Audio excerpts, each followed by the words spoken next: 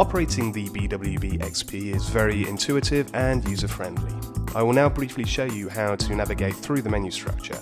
Later, we will cover calibrating the device and how to take readings. There are three ways to navigate through the menu structure. Firstly, the up and down arrows and pressing accept, pressing the number ion buttons, and finally the three shortcut buttons, read, calibrate and multi-mode. There are a variety of submenus and at any time pressing the back button will revert to the previous menu item. At various times the operator will be prompted by the BWB XP to carry out an operation.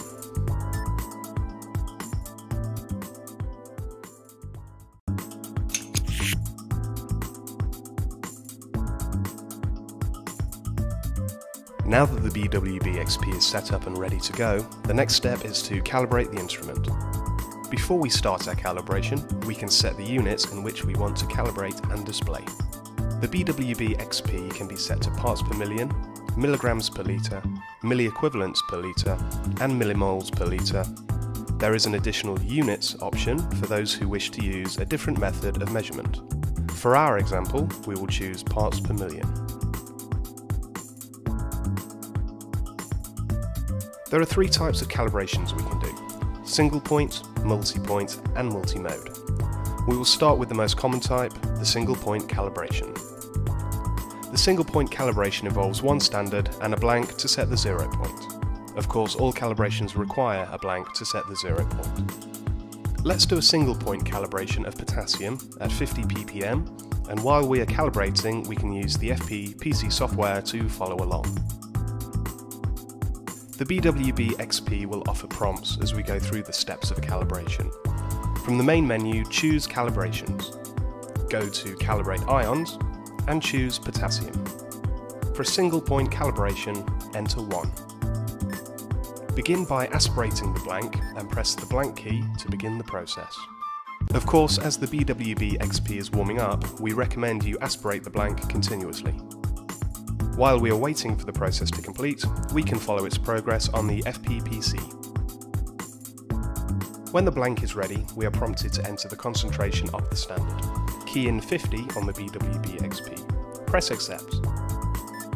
Start aspirating the 50 ppm potassium standard.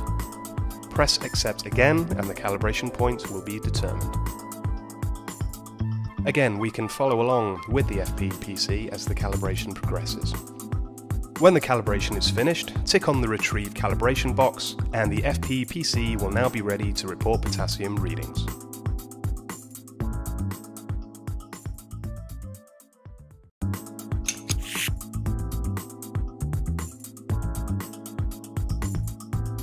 The BWBXP allows us to enter as many as 14 calibration points plus the blank, so we can bracket our expected unknown sample values very closely thereby increasing the precision and accuracy of the readings.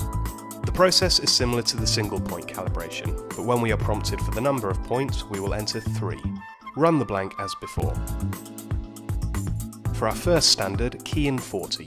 Start aspirating the 40 ppm potassium standard.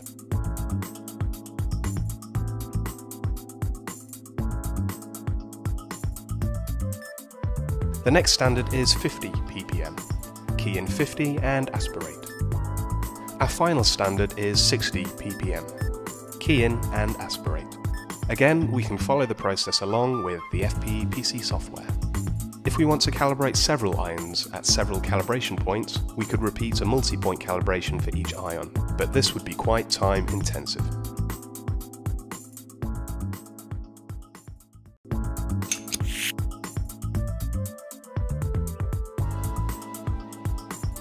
The BWB XP offers the user a multiple ion multi-point calibration.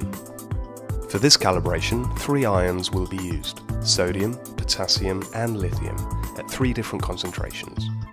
Standard 1 has 90 parts per million sodium, 40 parts per million potassium, and 10 parts per million lithium. Standard 2 has 100, 50 and 20 respectively, and Standard 3 has 110, 60 and 30, also respectively. From the main menu, we can go through the Calibrations menu and to the Calibrate Ions menu, where we will opt for number 8, Multi, or we can press the multi-mode key and go to the same location directly. For each ion, pressing its respective key will toggle between yes and no. Yes, it will be included in the calibration, no, it will not be included. The up and down keys can also be used to toggle between yes and no. In this calibration, we toggle to yes for sodium, potassium and lithium. We are prompted for a number of points, enter 3. Run the blank as before. We are now prompted for standard 1, sodium, enter 90. Potassium, enter 40, and lithium, enter 10.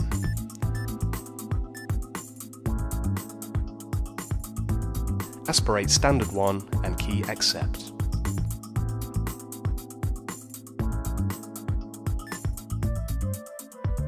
We are now prompted for standard 2. Enter 100 for sodium, 50 for potassium, and 20 for lithium. Aspirate standard 2 and watch on the FP PC. Repeat for standard 3 by entering 110 for sodium, 60 for potassium, and 30 for lithium. Aspirate standard 3 and watch on the FP PC. Remember to tick the Retrieve calibration boxes for each ion calibrated. The multi-mode calibrations offered by the BWB-XP has allowed us to cut our calibration time by two-thirds. The more ions and points desired, the more time you will save.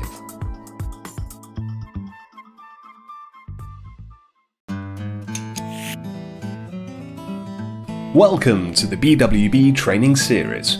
Today we will be looking at how to set up a tray using the BWB Auto Fluid Handling System and the BWB Bio Flame Photometer.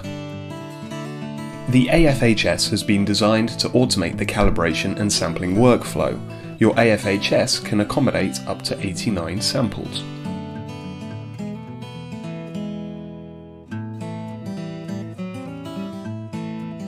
From the main menu, select serum or urine and your ions of interest.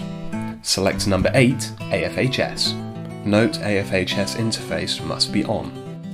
Now choose Tray Setup. A tray ID number 0 to 99 can be entered for future reference. The size of the tray, 1 to 89, is the number of samples to be tested. During a run, the calibration can vary. For example, atmospheric conditions can change the flame characteristics. To accommodate for this, a calibration correction standard is placed at the positions specified under the Recalib menu. This allows for corrections to be performed at set intervals throughout the test run. Up to 5 positions can be specified. The active ions for the particular test will be corrected at those points. Option 4 allows you to view the automatically set dilution ratio. Sodium and potassium have a dilution ratio of 100 to 1, whereas lithium and calcium have a dilution ratio of 10 to 1. The previous results can be erased using Clear. When the tray details have been entered, press back and select Start to commence the test run, but make sure there is sufficient diluent in the reservoir first. The testing will be paused if the reservoir runs out of diluent. Upon topping it back up, the testing will automatically start again from where it left off. A blank correction is performed at the start of each test. The large pot on the left side of the autosampler should be filled with DI only. The test should then continue to completion without further intervention. Each result will be printed, if the printer is on, and sent to the FPPC software. These can be captured in the Report tab by checking the Auto Read checkbox. When the run has finished, the results can be retrieved via Results, printed again, or uploaded to FPPC software via AFHS tab Retrieve.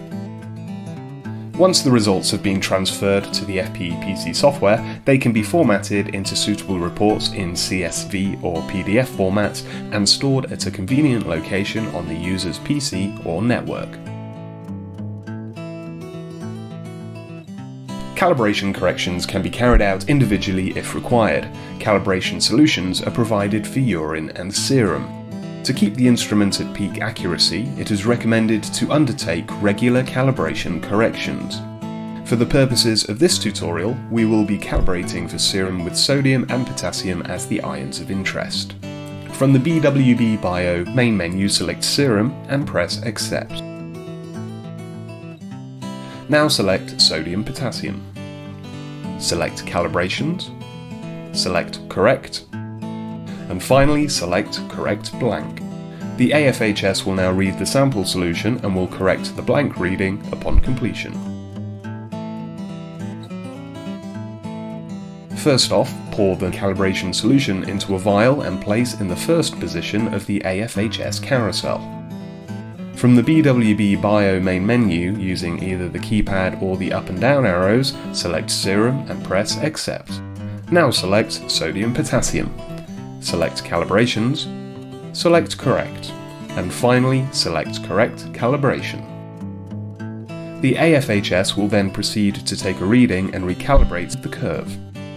The process only takes a couple of minutes and helps to ensure that your BWB Bio is running at peak accuracy.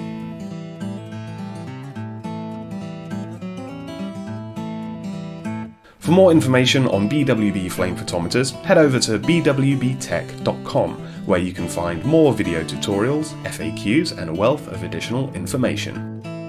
Thanks for watching and see you next time.